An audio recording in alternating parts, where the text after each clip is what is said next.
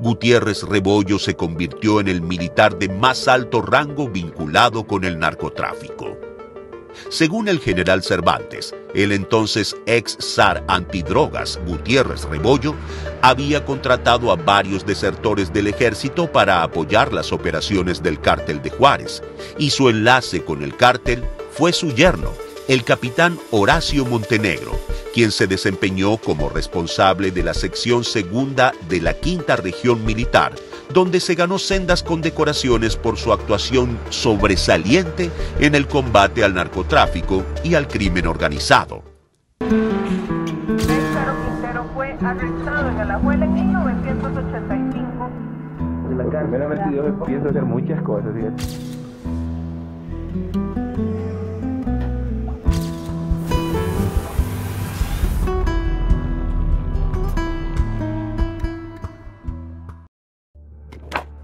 El general Jesús Gutiérrez Rebollo nació el 19 de abril de 1934 en Morelos y durante su paso por la milicia encabezó las zonas militares 12 en San Luis Potosí, la zona 15 en La Mojonera en Jalisco y la zona 9 en Culiacán, Sinaloa, en la década de los 80.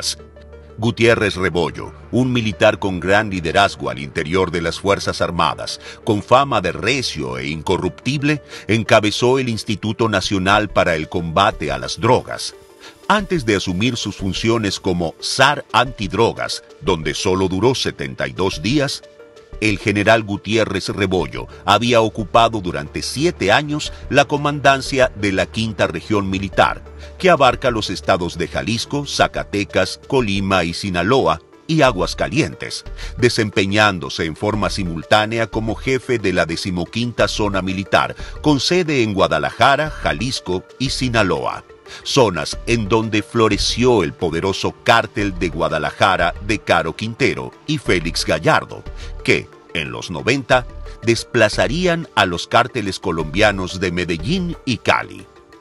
El general Gutiérrez Rebollo parecía inamovible. Llegó a Guadalajara en 1989, terminó el sexenio de Carlos Salinas de Gortari y llegó Ernesto Cedillo. Cambiaron al titular del Ministerio de Defensa, Pasaron tres gobernadores del estado de Jalisco. Hubo rotación de mandos castrenses, pero él permaneció firme en su puesto. Estaba al frente de la región militar cuando el cardenal Juan Jesús Posadas fue asesinado a quemarropa en 1993 y cuando la explosión de un coche bomba en 1994 frente al Hotel Camino Real. Entre sus éxitos en la lucha contra el narco se suman las capturas de El Güero Palma en 1995, del colombiano Iván Taborda en 1996 y de los hermanos Lupercio Serratos en 1996, todos integrantes de bandas rivales del cártel de Juárez. Estas capturas lo proyectaron como el zar antidrogas, congratulado por el entonces embajador estadounidense James Jones. Sin embargo, llamaba poderosamente la atención que durante su gestión, el cártel de Juárez de Amado Carrillo Fuentes, el Señor de los Cielos, nunca fue tocado. La DEA tenía en la mira al general, y en colaboración con un grupo de inteligencia mexicana, grabaron una conversación de Gutiérrez Rebollo donde éste discutía con el Señor de los Cielos los sobornos que recibiría por encubrir las actividades ilícitas del cártel de Juárez. También se comprobó que el general vivía desde diciembre de 1996 en un lujoso departamento en la Ciudad de México que le fue proporcionado por Eduardo González Quiriarte, presunto lugarteniente de Amado Carrillo Fuentes. El 6 de febrero de 1997, a medianoche, el general Gutiérrez Rebollo recibió una llamada en su casa del secretario de Defensa General, Enrique Cervantes, quien le ordenó que se dirigiera de inmediato a su despacho. Al llegar, fue detenido por un grupo especial del Estado Mayor Presidencial, en total sigilo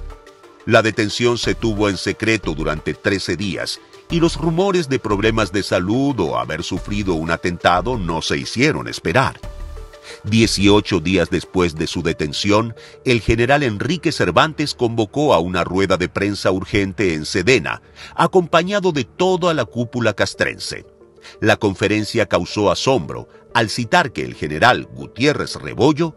había traicionado a la institución militar y atentado contra la seguridad nacional al brindar protección al cártel de Juárez y aseguró que habría un castigo ejemplar sin importar jerarquías.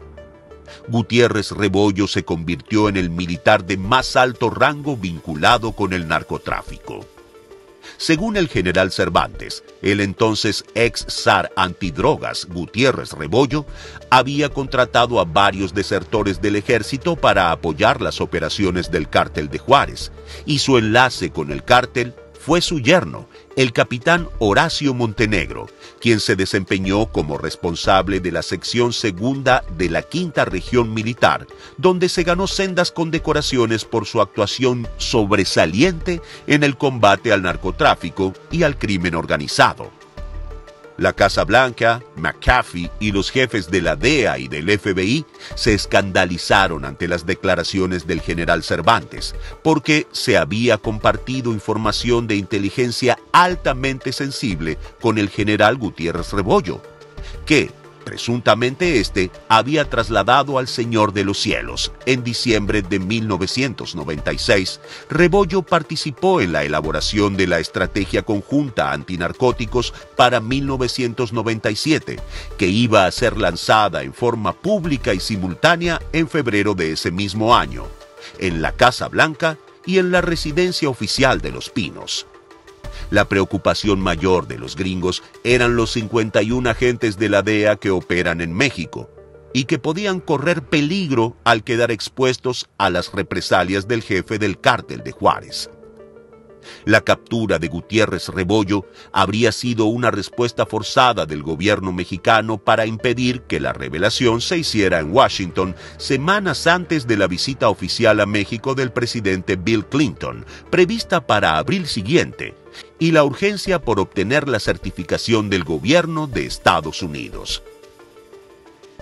Gutiérrez Rebollo fue declarado culpable y condenado a 40 años de cárcel en el penal del Altiplano. Su condición de salud derivó que fuera trasladado a un hospital en 2011, ya que padecía un cáncer terminal. Por tal motivo sus familiares pidieron que el general terminara de cumplir su condena en su domicilio, y 24 horas después de haber estado fuera de la cárcel, el general falleció tras una intervención quirúrgica de urgencia por el cáncer de cerebro que padecía. Su hijo César Gutiérrez, abogado de profesión, afirmó a los medios de comunicación que su familia había recibido amenazas y recordaba que su padre había dirigido tres operaciones de captura contra Carrillo Fuentes, pero que habían sido detenidas por orden de sus superiores. Tras la muerte de su padre, ha dicho que continuará la lucha legal para limpiar su reputación cinco meses después de su captura, reveló que 34 militares, entre jefes de alto rango, oficiales y tropas del ejército, estaban involucrados en la protección al cártel de Juárez. Y esto confirmó que el escándalo de la captura de Gutiérrez Rebollo era solo la punta del iceberg de la corrupción en el gobierno mexicano durante los sexenios de Miguel de la Madrid y Carlos Salinas de Gortari y el entonces presidente Ernesto Cedillo. Años después, otro funcionario encargado del combate a las drogas en el gobierno de México, siendo presidente Felipe Calderón Hinojosa, cobraría de nuevo al país se trata de Genaro García Luna, quien estará en el próximo capítulo de Malditos.